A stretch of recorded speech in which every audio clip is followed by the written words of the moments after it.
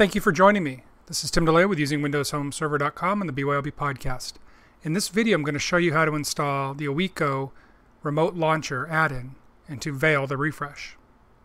On the screen, I have my remote desktop to my Vail server, and on my client, I downloaded the remote launch. All I'm going to do is right mouse click and click on copy and then paste it to the desktop. Okay, once I'm here, all I have to do is double click on the installation package, click on install, let it validate the add-in, read the ULA, EULA, excuse me, click on accept, and click on install the add-in.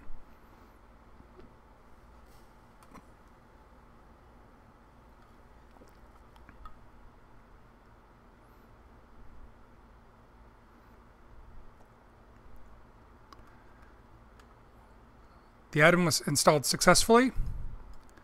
I will trash into the recycle bin the add-in, and now I will double click on the dashboard.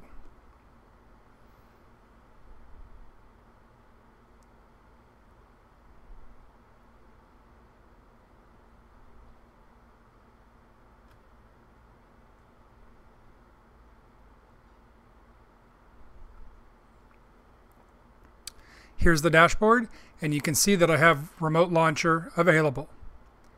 Now this is great because if I ever within the dashboard itself want to open up an application, I can just click on Explore, for example.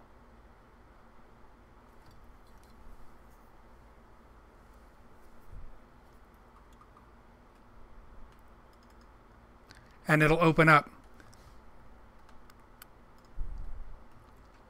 This is again really cool can open up Task Manager, double clicking, of course, and double click on our favorite Andreas on Event Viewer so we can look at the Windows logs.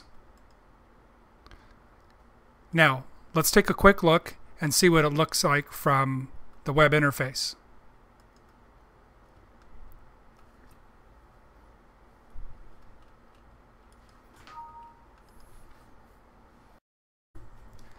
Here we are for the web interface. Again, we're going to look at the remote launcher and see what it looks like from within the web interface.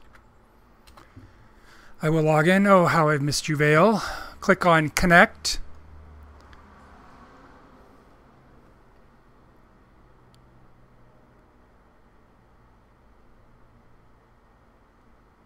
Love me some Vail. Okay, so now I'm going to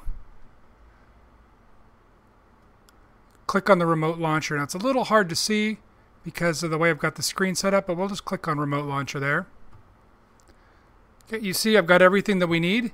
I'm going to double click on explore and now I'm actually within my computer. This is great. This is similar to like the way we used to deal with the advanced admin console, kind of the same thing where you could get your applications.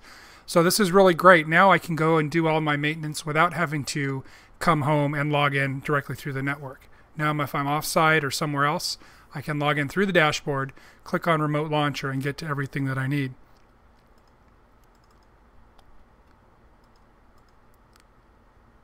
Sweet.